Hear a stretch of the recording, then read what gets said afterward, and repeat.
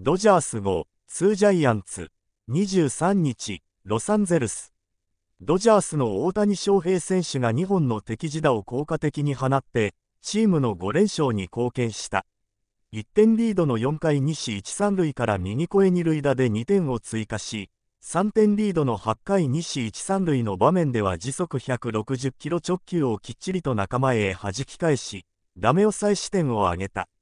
他の3打席はいずれも空振り三振だった。ドジャースは後半戦無傷の5連勝で貯金を今季最多タイの20とした。